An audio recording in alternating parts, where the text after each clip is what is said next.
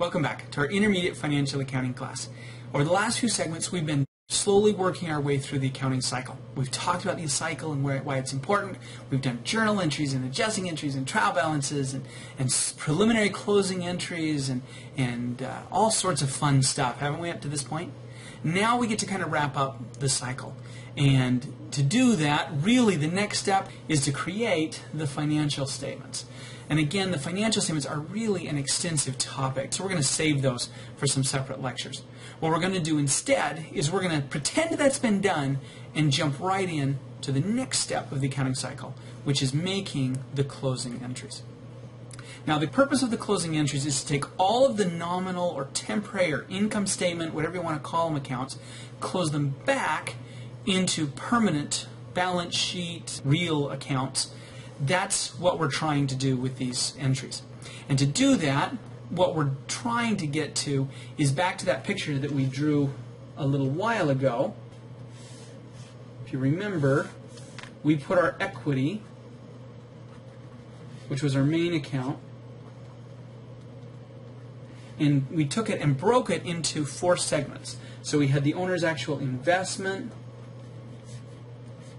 and we said it would have a balance over here. We said we could withdraw money or pay it as dividends, depending on the type of company, and that was going to reduce equity so it would have a debit balance. We also have revenues or gains.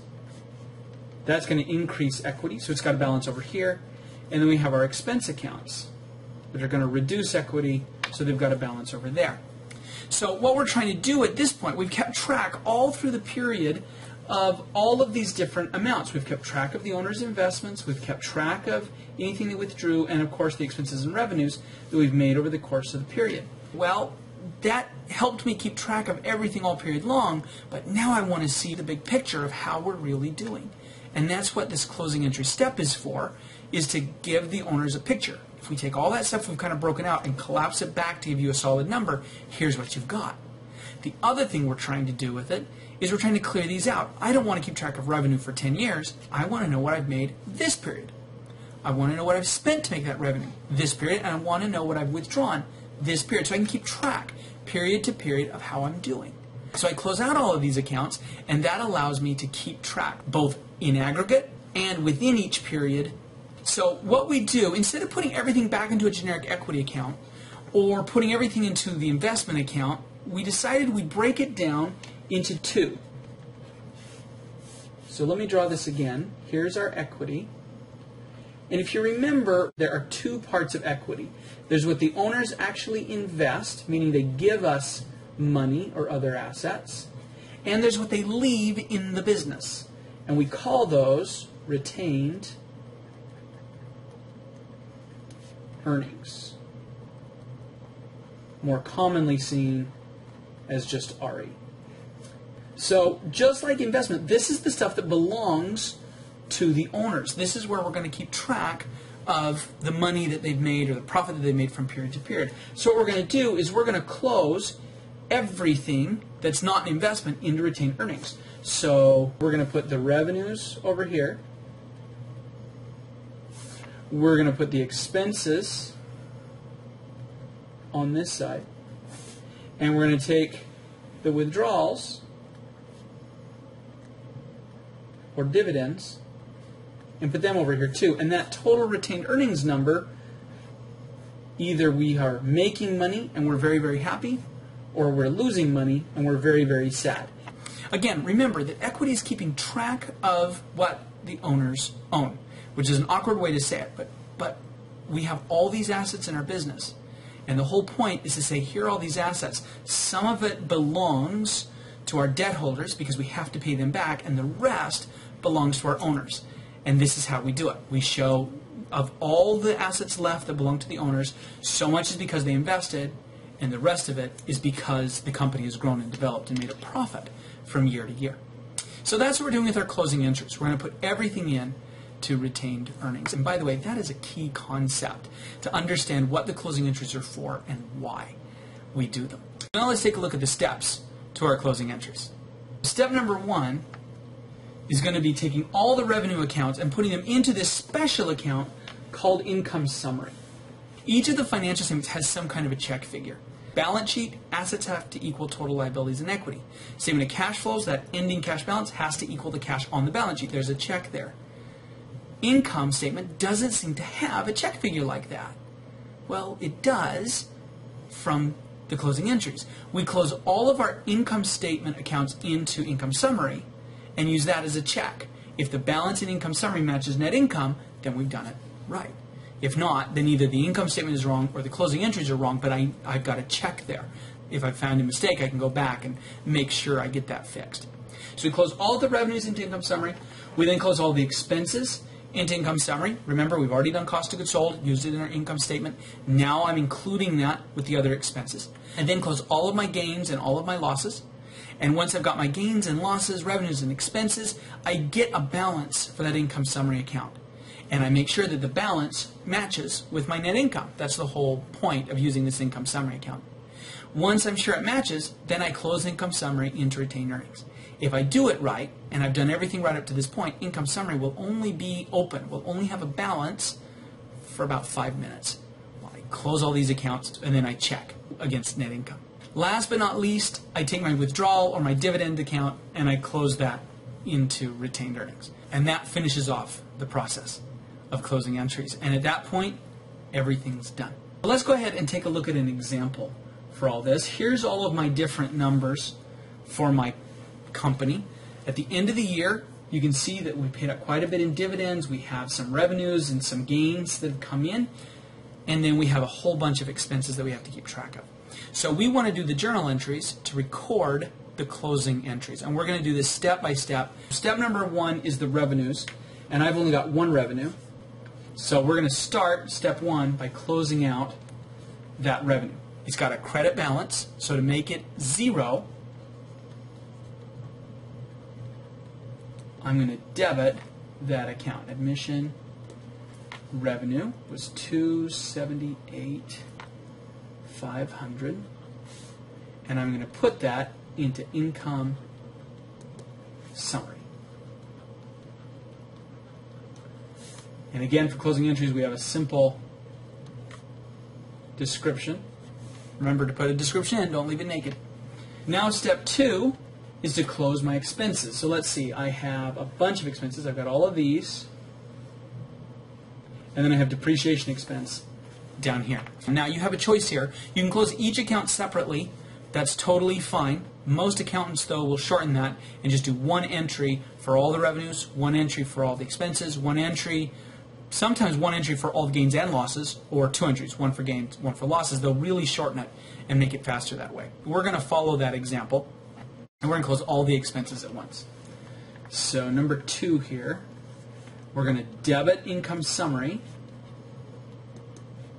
so that we can credit all of these expenses. And when I credit an expense, expense normally has a debit balance, then it goes to zero. So I've got salaries expense, 109,000 repair expense. That's 30,500. Advertising expense 9,400. Utilities expense 16,900 property taxes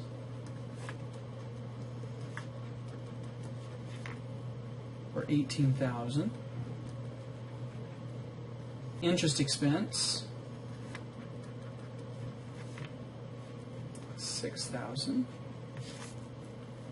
Insurance expense, 28,000. Supplies expense, 17,400. And finally, we have our depreciation expense, 6,800. So I'm going to add all these up, and when I do, I get an income summary amount, $242,000. Closing entry. Step three is to close my gains and my losses. I have one gain down here, $6,000. It had a credit balance, since it's a gain. So I'm going to debit it.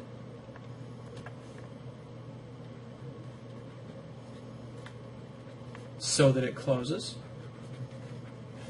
And it was $6,000. We'll credit income summary. And this again is a closing entry. And normally when I get to this point, somebody inevitably says, hey, what about dividends? We've got to close dividends. It's an expense. It's not an expense. Dividends is not an expense. It's not an expense. It's not an expense. Highlight it, circle it, whatever. Emphasize it. Dividends is not an expense. Remember that an expense is part of running my business. It's a day-to-day outflow to keep my business running. A dividend is a repayment to the owners. I'm giving them back some of the assets that belong to them. That's different. Dividends is not an expense. Please, don't make that mistake. It drives me crazy. Okay? It's part of the accounting cycle. It's a basic concept. Make sure you don't include dividends as part of your income summary. Not only is it just totally wrong, but it also will make sure that your income summary never matches your income statement because dividends isn't on the income statement. So you should, if you even even if you do make a mistake, if you remember that concept that net income has to equal income summary, you should catch the mistake there before it becomes a major issue. At least I hope you will. But please highlight it. It's not dividends is not an expense. Okay, I can get off my soapbox now. Regain my composure. It just really bugs me, in case you can't tell. Okay, so now our fourth step is to do our income summary balance. And we're going to compare income summary with net income. So let's see. We start with this 278,500. Then we have 242,000. Then down here we have another 6,000. And I'm going to add this up. Let's see. 275 minus 242 plus 6,000 is 42,500. And I'm going to check that. That's my number. That should be net income. If I had an actual income statement, I'd go back to it. I don't in this case, but I gave you down here my reported net income so that you would know, oh, look, 42,500. If I had the income statement, that's what it would show, and we'd match. So we're okay. That's step four. Don't skip it. Very important that you use that check and get that number. Okay, once I've done that, then I'm going to close income summary. So I'm going to debit income summary. By the way, if you had a loss, income summary would have come up with a debit. And when I closed it, it would debit retained earnings, which would drop equity. So I'm going to debit income summary. I had a gain here. I put it into retained earnings. This is a closing entry. And the final entry, step six, we're going to close dividends. It's going to drop retained earnings. We're going to get rid of dividends, 14,000. And just to show you I'm not making this up, there's my 14,000, had a debit balance, so I credited it to get rid of it here. It's just what I wanted to see with dividends right? Because a dividend drops what the owners have, so it should be a debit to that retained earnings account, dropping equity. And sure enough, that's what we've got. Those are our closing entries. Very, very important key concept here. Understanding closing entries and why they happen. It's so important to cleaning out the books and getting them ready to go. It provides that key check figure. Last part of the accounting cycle that we really need to talk about at this point is the fact that we would do a post-closing trial balance after doing all of these closing entries. Now, remember that a trial balance only includes accounts that have a balance. So at this point, you'd have your assets, you have your liabilities, you'd have equity, including retained earnings, but no dividends. It's got a zero balance. It doesn't go in there. Revenues are gone, expenses are gone, gains and losses are gone. All of that information is now in the brand new retained earnings number, which, by the way, should match what's in your statement of retained earnings, there's the check figure for that statement as well. Everything's got a check. And with that, we wrap up the accounting cycle. Now, we're not quite done with this lecture yet. We've got one more topic that we need to cover, and we'll do that in the very next, next segment. I'll see you then.